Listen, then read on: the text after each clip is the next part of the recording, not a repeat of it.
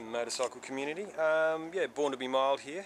Just having another squiz at the trusty steed, the TU250 uh, X Suzuki. Um, yeah, I did a lot of research before I bought the bike and how great it was for um, learner learner riders, etc. Great first bike, and all seems to be true, well and true. Um, yeah, it's been a fantastic bike. I've done about four and a half thousand k's so far. Uh, everything's going really well. Yeah, starts first time, easy to ride as everyone said, and yeah, great bike and looks very nice. What they haven't sort of, what I haven't found on any YouTube clips or anything like that is how they go as a touring bike. Um, so I'm on my way to Bangalow now from the Sunshine Coast, which is 300 k's one way, so it'll be about, yeah, roughly 580, 600 k round trip. Got a little bit of a swag and stuff packed there. Got some mates meeting up down there for a, um, a barbecue competition, so they've got a bit more kit for me, like swag, etc. I've only got a sleeping bag and stuff. Um, so yeah, we'll see how it goes in the open road, and it's a bit of a light tourer. Now people are probably looking at this now and going, either great, well done, good for having a crack at uh, open road touring, or what a dickhead, it's only a 250. But we'll see. We'll see how she goes on the road. I know I won't be sitting in the 110 zones, doing 120 or anything like that. I'm quite comfy sitting at uh, 100. That's about the limit. But um, we'll see. See how we go. I'll keep you posted. Okay, catch you later.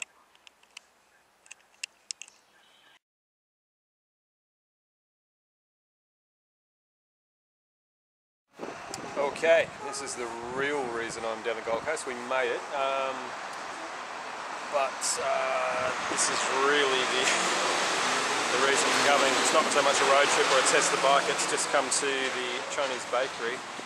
Uh, I think it's Mermaid Beach and have some of these things and they are spectacular. Um, I had like four or five of these, it's cost me about 10 bucks, but I would ride, I've just ridden about 200 Ks, I would ride 200 Ks again just to have some of these things. So um, yeah, um, bike-wise, let's get back to that.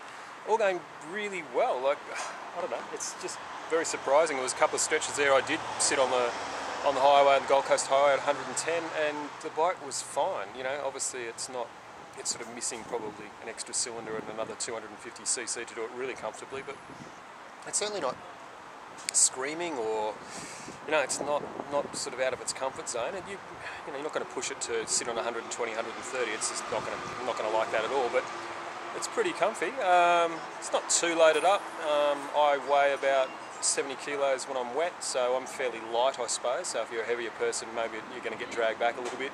Um, and the wind is with me. I haven't been riding into the winds, I've been riding with the wind, so I suppose all those factors. But yeah, bike's going really well, hasn't missed a beat. Um, brilliant. Happy days. So um, I'm going to get back to this stuff, finish my lunch, and then continue on down the road. Okay, catch you soon. Bye.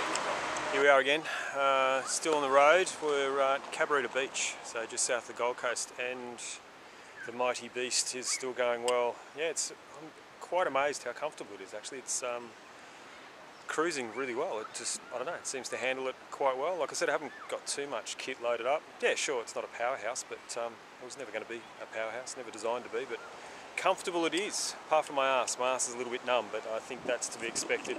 And I'm a little bit bony, as I said before, so see how we go. We'll persevere. Okay, see you soon. Bye. Okay, good morning. Um, it is the next morning of getting to the barbecue gig on my road trip.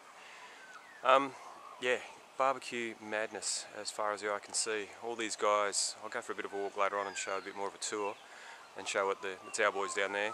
That's Stephen Freddo. Um, yeah, show what these guys are doing. Most of these guys have been up all night, got here two days beforehand for presentations today.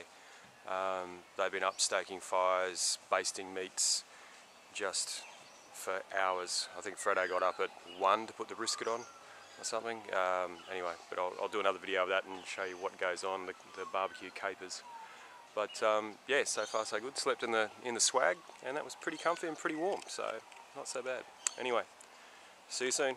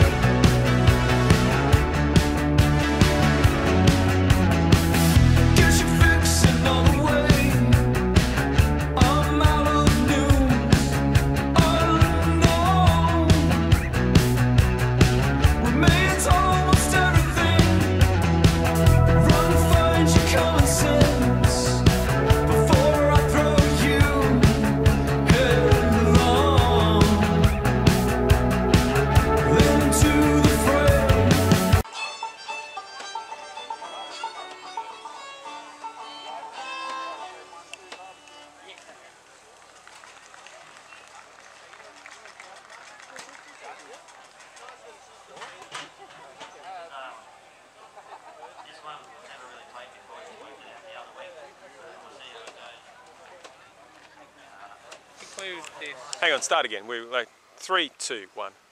just to draw to conclusion of the um, Bangalow um, Bluegrass and Barbecue Festival of 2017. Um, we, we were aiming for top 20, we succeeded.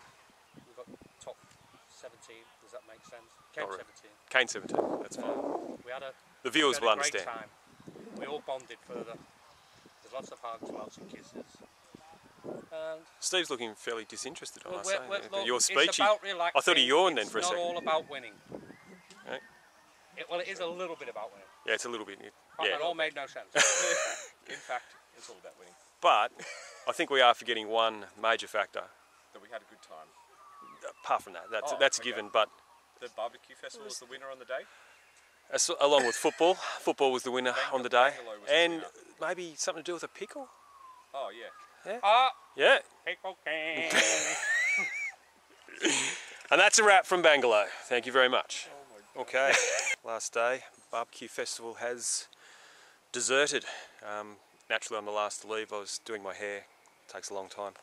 Um, yeah, so just about to do the return trip on the trusty TU. I've done about 300 k's. Yeah, 301. There you go. Um, on the on the tank, so which means I've probably got 20, 30k, something like that, before I'd have to before the fuel light would come on. Um, so, but I'll I'll get some fuel in town here, so I don't have to stop on the way back. So it's pretty good range uh, for a little bike. You know, you're still getting yeah 330 odd k's per tank, which cost about well current rates about nine bucks or something like that. So it's bugger all. So yeah, great. Everything going well, and um, yeah, looking forward to the return trip. I'm to stop off at Fredo's, one of the barbecue masters, have a cup of tea in Brizzy on the way back just to break it up a little bit. Um, yeah, all good. Okay, catch ya. Bye. Okay, have returned. Uh, safe and sound. Came back up the highway. I think we, what did we end up doing over the couple of days? Another 282, so yeah, 583 kilometres.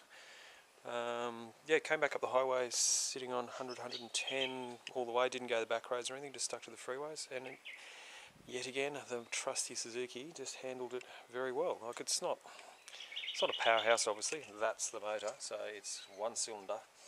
Um, it's only 250 of those things, so it's never going to be a powerhouse, and it's never going to.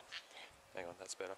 Um, you know, it's never going to sit on 120 k's or 130 k's or whatever, you know, on a, a larger freeway. But man, it handled it quite well. So as far as being the commuter and extremely light touring bike, if you can call it that for such a thing, it I don't know, it just did it really well. So yeah, well impressed, well impressed with the little beast.